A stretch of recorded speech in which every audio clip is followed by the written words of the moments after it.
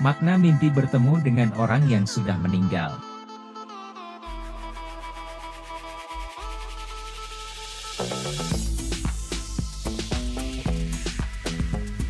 Hai teman-teman, selamat datang di channel kami.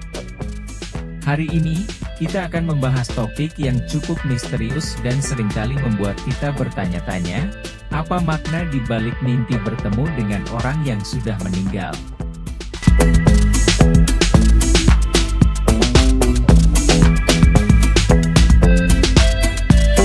Satu, Kepercayaan agama dalam banyak tradisi agama, mimpi bertemu dengan orang yang sudah meninggal dianggap sebagai kunjungan roh mereka.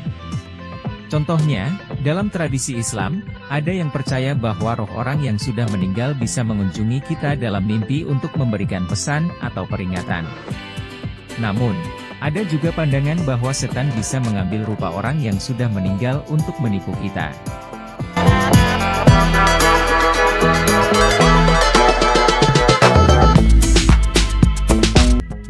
Perspektif psikologis Dari sudut pandang psikologis, mimpi seperti ini sering kali dianggap sebagai manifestasi dari pikiran dan perasaan bawah sadar kita.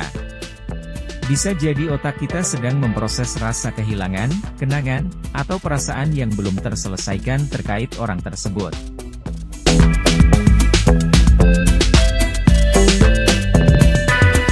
Tiga, Budaya dan tradisi banyak budaya memiliki kepercayaan khusus tentang mimpi dan roh.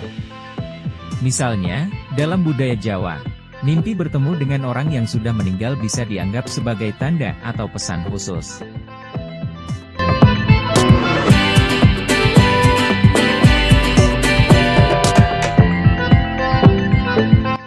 Penjelasan spiritual lainnya.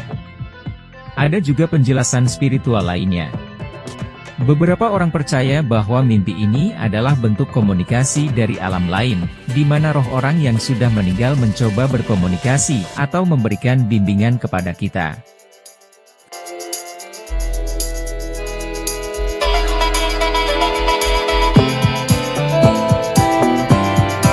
Kesimpulan jadi, teman-teman, tidak ada jawaban pasti yang dapat diterima oleh semua orang tentang mimpi bertemu dengan orang yang sudah meninggal.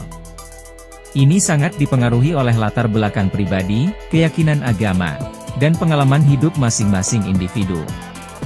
Jika kamu merasa khawatir atau terganggu oleh mimpi seperti ini, jangan ragu untuk mencari bimbingan dari pemuka agama, psikolog, atau konselor mereka bisa membantu kamu mendapatkan pemahaman dan dukungan yang lebih baik.